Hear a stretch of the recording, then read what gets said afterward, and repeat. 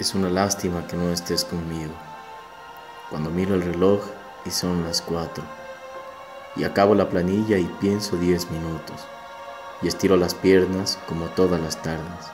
Y hago así con los hombros para aflojar la espalda y me doblo los dedos y les saco mentiras. Es una lástima que no estés conmigo cuando miro el reloj y son las cinco. Y soy una manija que calcula intereses o dos manos que saltan sobre cuarenta teclas, o un oído que escucha como ladra el teléfono, o un tipo que hace números y le saca verdades.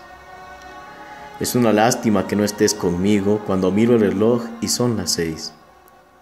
Podrías acercarte de sorpresa y decirme, ¿qué tal?